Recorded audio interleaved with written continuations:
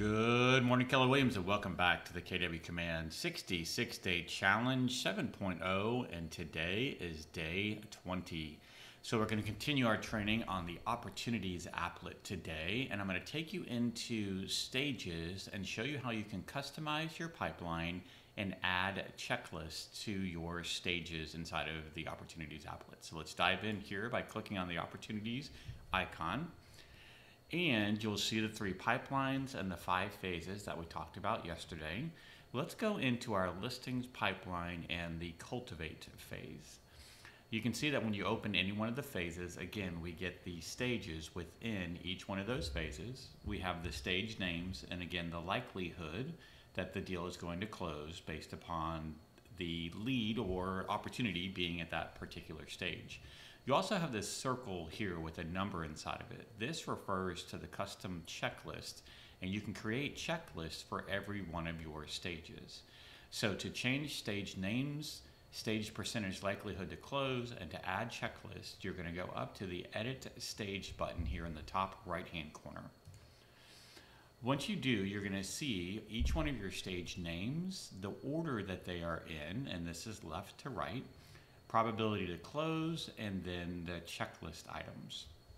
For the cultivate stage, I'll tell you personally, hot, nurture, and watch don't really work well for my brain. I'm a high C, I'm very analytical. I like numbers and dates and time frames. So for me and my cultivate stages, I've actually gone in and changed each one of these to number-based formulas. So for watch, if you wanted to edit this stage name, you would click on this pencil and change watch, and I just put this as 12 months or more, not months, months or more. And honestly, when they're this far out, I think 5% is a little generous. I usually put this at more like 3%, and then I can click on save. And then you've got nurture. I actually changed this to 6 to 12 months, and I put that more at like 5%. And then hot, I actually have a stage in between here where I say one to six months, and that's going to be 7%. Save. And then if you want to add a stage, you can do so just by clicking on this button. And I would say 30 days or less. And we're going to put a probability there of 10%. And you can see it even asks what position do you want this at. So I'm going to go ahead and click on save. And now I have my new stage name. So if we go back to the pipeline, you can see that we now have our four stages. Now, some people may want to see 30 days or less first and go 30, then 1 to 6, 6 to 12, 12 months, basically reverse this order. You can do that by just moving, click and drag each one of these stages, and you can reorder them such that they are then left to right versus right to left. So 30 days or less, 1 to 6, 6 to 12, 12 months or more. Since my pipeline is moving from left to right, I like my shorter dates on the far right. So I'm actually going to reorder that so that this one is the furthest right. And we'll just, you can see how you can reorder that. So now we have our custom stage names. We have created a new stage. Now let's get into the checklists.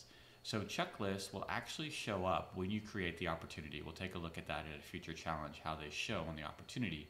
But let's create some checklist items for a new opportunity that comes into the pipeline 12 months or more. So they say, uh, Marty, we're interested, but not until next year. Okay, that's still an intent to do business, so I'm going to go ahead and add them to my opportunity. What are some things that I'd want to do for a brand new opportunity? All right, so I might put um, confirm phone number in command, right? Definitely want to make sure I have their phone number. I want to make sure that I have their email address in command. I want to make sure that I have their mailing address. Confirm home address in command, right? I want to make sure, let's see if we can source the birthday.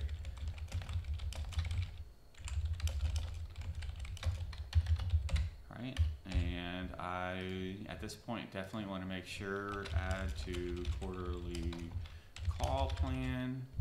I want to add them to the monthly neighborhood nurture. And I want to make sure that they are on the birthday smart plan if applicable. All right. So there we go. So now I've got one, two, three, four, five, six, seven items that are built inside of this checklist for a new opportunity that gets added inside of the cultivate stage for 12 months or more. Now, some may say, well, hey, if they're that far out, do we still need to do quarterly call? I, I think so, absolutely.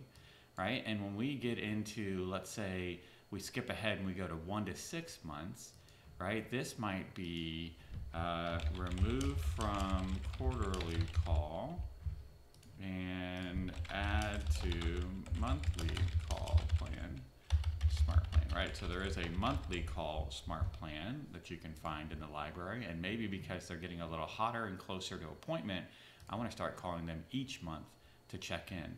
So you can see now we've got seven items in the 12 months or more, and then we've got you know two items in one to six months. Maybe if they're 30 days or less from setting an appointment, like hey, call us next month, we're going to be ready to list I might even say add to weekly call smart plan, right? Remove from, and let's watch this, right? So I can put add to weekly, oops, I forgot to do remove from monthly call smart plan. And I want that item to be listed a little bit further ahead. So you can actually switch, remove from, and then add to. So you can just drag these items on your checklist up and down.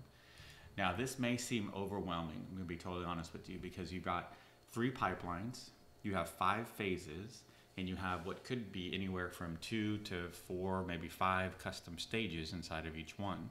So you're looking at checklists for what could be, I don't know, maybe 30, 40, 50 different stages take your time, build it out over time, right? I would probably, honestly, depending on where you are in your business, if you don't have anyone under contract or anyone actually in your car, you know, showing houses or going on listing appointments, sure, maybe start with Cultivate.